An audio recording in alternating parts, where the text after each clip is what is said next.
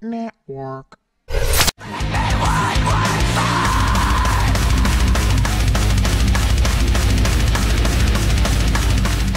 It's story time with David.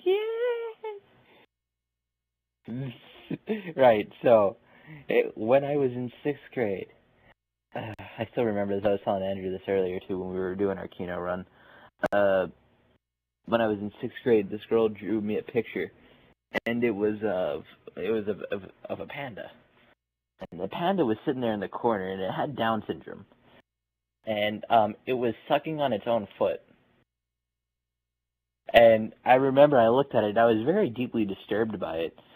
And I sat there, I was like, You drew this for me. He was like, Yeah. Like, I'm going to rock this picture proudly in the front of my binder because we all know had them clear, bi- them white binders with a clear sleeve in the front that you could slip pictures into. Yeah, I rocked that picture for every single class. It was amazing.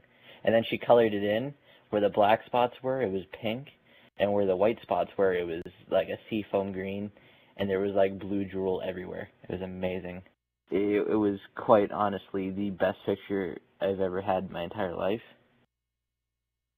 And apparently, Down syndrome is funny. High five. The laughing matter, Josh. Shut up. And that concludes story time.